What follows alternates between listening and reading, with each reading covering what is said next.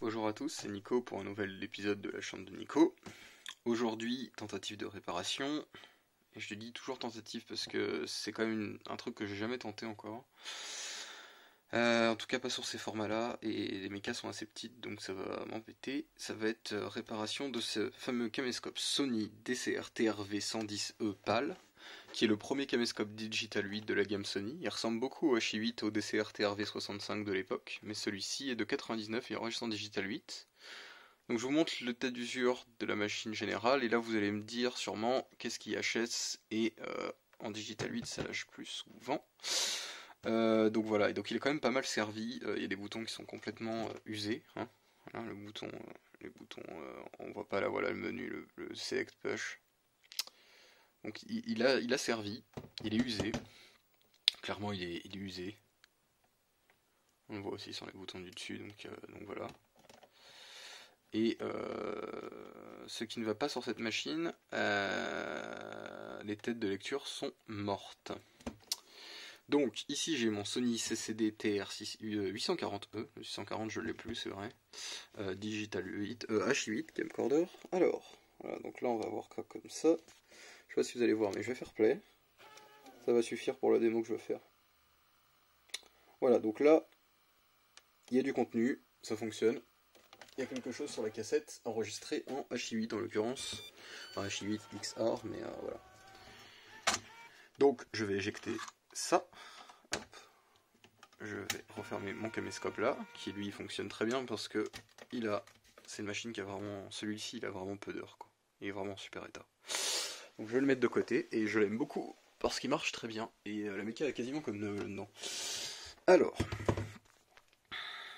Je vais allumer ça. D'abord je vais ouvrir l'écran LCD parce que celui-ci dispose d'un écran LCD. Toum Voilà, Sony Info Lithium. Alors déjà la méca, c'est pas la même tout de suite, hein. il y a du bruit. il a plus d'heures. Il a clairement plus d'heures. Donc là on va faire un play. Donc là la tête est partie en mode digital 8. Ah là il te dit attention non, c'est un AHI 8 ou du 8 mm donc elle va tourner plus lentement. Sauf que là, il y a un play et il n'y a absolument rien à l'écran. Alors, euh... bon, maintenant, il n'y a vraiment plus rien. Alors, comment je sais que c'est les têtes? Alors, parce qu'au début, déjà, j'ai réussi à le faire fonctionner un peu. Au début, il y avait une des deux têtes qui était vraiment morte, c'est-à-dire que j'avais un trait euh, sur la moitié de l'écran en numérique et en analogique. Ce qui se passait, euh, c'est qu'il y avait tellement peu de signal que juste en avance rapide, je voyais quelque chose et en retour rapide. Et après, je voyais rien. Et euh, quand je l'ai ouvert, je sais pas si vous entendez, mais quand il passe en mode digital 8, vous entendez cette vibration Ça, c'est actuellement une des têtes de lecture euh, qui vient frotter contre la bande parce que la tête est complètement arrachée. Voilà, donc euh, les têtes de lecture sont mortes, vraiment mortes. Donc, je vais essayer de changer le tambour de tête sur ce truc là c'est pas quelque chose que j'ai vraiment envie de faire, mais c'est pas comme si j'avais vraiment le choix en fait. Donc, euh, donc voilà. Et eh ben écoutez, euh, ce que je vais faire, c'est que je vais couper la caméra. Je vais commencer à démonter ce truc là, et puis on se retrouve euh, une fois que j'ai commencé le démontage. Donc oui, j'ai acheté ça en Grèce, introuvable les têtes de lecture. Je les ai achetées d'occasion, presque le prix du caméscope d'ailleurs. J'espère vraiment que ça va fonctionner, mais, euh, mais voilà, là j'ai en l'occurrence. Euh, euh, voilà, là j'ai acheté ça en l'occurrence. Je les ai même pas ouvertes, hein. on va les ouvrir après ensemble. Et puis, enfin, j'ai ouvert le carton, mais j'ai pas ouvert le sachet qui contient les têtes. ça a été bien emballé, du coup je les laisse, parce que c'est fragile, je les laisse dedans jusqu'à l'ouverture, voilà. Donc, je vais commencer l'opération, et puis je vous retrouve juste après. Bon, euh, j'ai tout démonté. J'ai sorti la méca. Elle est là, la méca. Le tambour de tête est ici. Faut que je prenne des repérages que j'espère ne pas avoir à régler parce que j'ai pas les outils pour euh, brancher l'oscillo dessus et faire l'enveloppe FM. Ce qui est un peu chiant, cela dit. Euh, je vais, toi, là, le nettoyeur de tête automatique, comme on dit en anglais, GTFO, get the fuck out, tu dégages. voilà, c'est GTFO tout de suite. Parce que c'est peut-être ça qui a niqué les têtes. C'est pas sûr, hein, mais c'est possible. En tout cas, j'ai TFO. Et euh, il a l'air abîmé quand même. Je pense qu'il a morflé la petite éponge. Donc, euh, donc je vais quand même l'enlever de toute façon. Euh, voilà.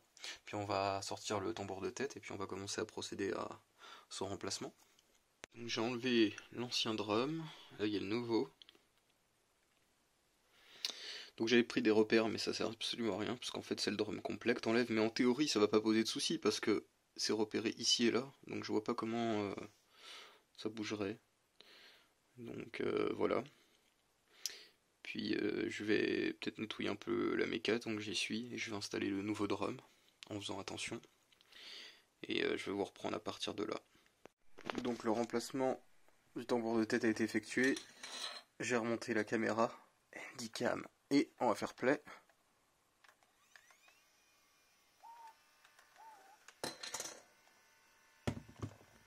J'ai été vous faire un petit enregistrement.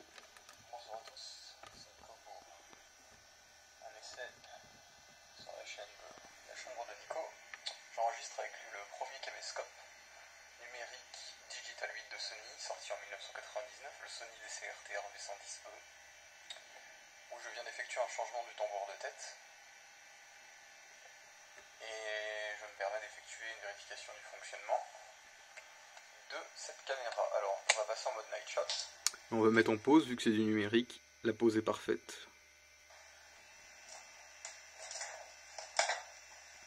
Alors j'ai l'impression qu'en night shot, la qualité est quand même inférieure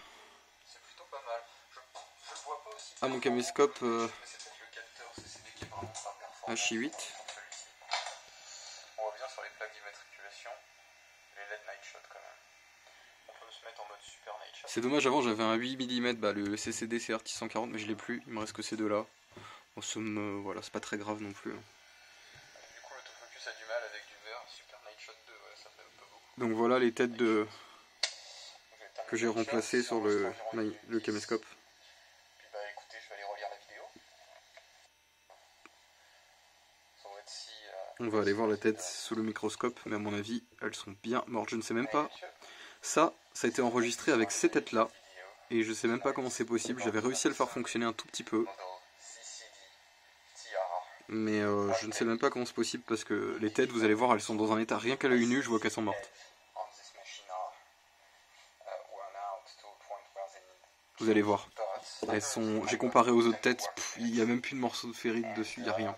Elles sont tellement elles sont mortes. Je sais pas comment elles ont été flinguées comme ça, mais elles sont mortes. Je pense qu'il y a eu un souci et que quelqu'un a utilisé beaucoup trop de cassettes de nettoyage. Et les cassettes de nettoyage, c'est très abrasif. Donc je vais vous numériser ça après.